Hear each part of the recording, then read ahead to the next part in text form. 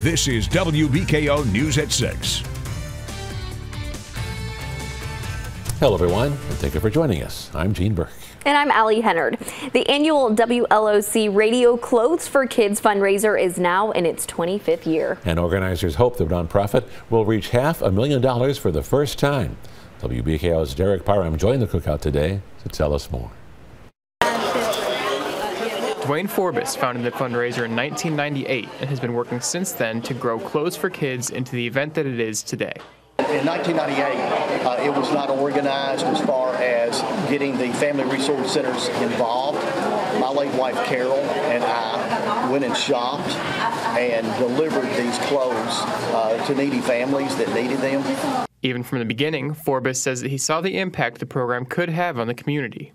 We've seen a lot of kids cry when we handed the presents through the door knowing that they were closed.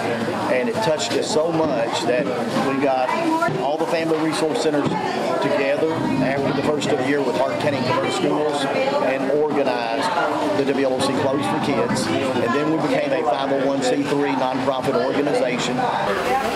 Forbes hopes that the half a million dollar goal will motivate the community to continue to give back to the kids that need it most.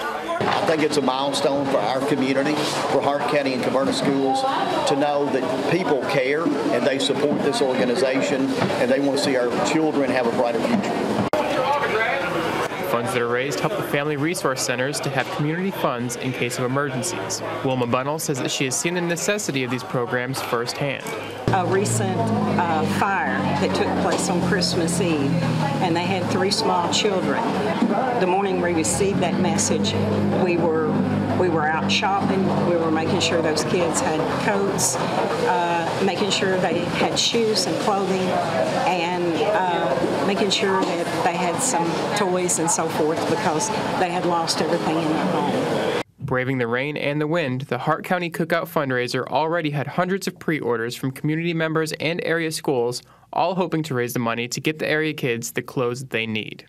Reporting in Hart County, Derek Parham, WBKO News.